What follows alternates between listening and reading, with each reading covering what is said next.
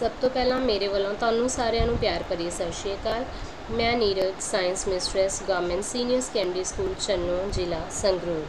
ਬੱਚੇ, ਆਪਣਾ 77th question ਹੈ, ਤਾਰੇ ਕਿਉਂ ਟਿਮਟਿਮਾਉਂਦੇ ਹਨ? ਬੇਟਾ ਸਿੰਪਲ ਜਿਹਾ ਕਨਸੈਪਟ ਲੱਗਣਾ ਬੜਾ, ਅਪਵਰਤਨ। ਤੁਹਾਨੂੰ ਪਤਾ ਹੀ ਹੈ ਕਿ ਜਦੋਂ ਦੂ- ਇੱਕ ਮਾਧਿਅਮ ਤੋਂ ਦੂਜੇ ਮਾਧਿਅਮ ਦੇ ਵਿੱਚ ਪ੍ਰਕਾਸ਼ ਕਿਰਨ ਜਾਂਦੀ ਹੈ, ਤਾਂ ਉਹ ਆਪਣਾ ਪਥ ਬਦਲ ਲੈਂਦੀ ਹੈ। ਕਿਉਂਕਿ ਦੋਨਾਂ ਮਾਧਿਅਮਾਂ ਦਾ ਅਪਵਰਤਨ ਅੰਕ ਹੈ ਜਿਹੜਾ, ਉਹ ਅਲੱਗ-ਅਲੱਗ ਹੁੰਦਾ ਹੈ।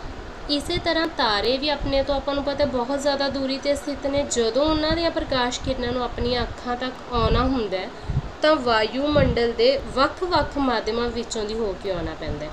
ਮੀਨਸ ਆਪਣਾ ਜਿਹੜਾ ਉਹ ਉਹਨਾਂ ਤੋਂ ਲੈ ਕੇ ਆਪਣੀਆਂ ਅੱਖਾਂ ਤੱਕ ਦਾ ਜਿਹੜਾ ਮਾਧਿਅਮ ਹੈ, ਉਹ ਨਿਰੰਤਰ ਬਦਲ ਰਿਹਾ ਹੈ। ਜਿਹਦੇ ਨਾਲ ਹਰ ਮਾਧਿਅਮ ਦਾ ਅਪਵਰਤਨ ਅੰਕ ਵੀ ਵੱਖੋ ਵੱਖਰਾ ਹੋ ਰਿਹਾ ਹੈ। ਜਿਸ ਕਾਰਨ ਪ੍ਰਕਾਸ਼ ਕਿਰਨਾਂ ਦਾ ਪੱਥ ਲਗਾਤਾਰ ਬਦਲ ਰਿਹਾ ਹੈ। ਪੱਥ ਲਗਾਤਾਰ ਬਦਲ ਰਿਹਾ ਦੈਟ ਮੀਨਸ ਉਹਨਾਂ ਦੀ ਆਭਾਸੀ ਸਥਿਤੀ ਹੈ ਜਿਹੜੀ ਉਹ ਆਪਾਂ ਨੂੰ ਹੋਰ ਪ੍ਰਤੀਤ ਹੋ ਰਹੀ ਹੈ ਹਰ ਮੂਮੈਂਟ ਦੇ ਉੱਪਰ, ਹਰ ਸਮੇਂ ਦੇ ਉੱਪਰ। ਔਰ ਇਹੀ ਜਿਹੜੀ ਆਭਾਸੀ ਸਥਿਤੀ ਬਦਲਣ ਦਾ ਜਿਹੜਾ ਇਫੈਕਟ ਹੈ, ਉਹ ਟਿਮਟਿਮਾਉਣ ਦਾ ਪ੍ਰਭਾਵ ਦਿਖਾ ਰਿਹਾ ਹੈ। ਠੀਕ ਹੈ ਬੱਚੇ?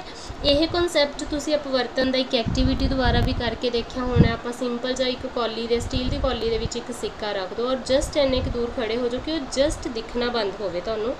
ਉਸ ਤੋਂ ਬਾਅਦ ਦੂਸਰੇ ਜਣੇ ਨੂੰ ਉਸ 'ਚ ਪਾਣੀ ਪਾਉਣ ਲਈ ਕਹੋ ਤਾਂ ਤੁਹਾਨੂੰ ਸਿੱਕਾ ਉੱਪਰ ਉੱਠਿਆ ਹੋਇਆ ਪ੍ਰਤੀਤ ਹੋਊਗਾ। ਉਹ ਸਿੱਕੇ ਦੀ ਆਭਾਸੀ ਸਥਿਤੀ ਹੈ ਜਿਹੜੀ ਪਾਣੀ ਪਾਉਣ ਤੋਂ ਬਾਅਦ ਤੁਹਾਨੂੰ ਦਿਖ ਰਹੀ ਹੈ।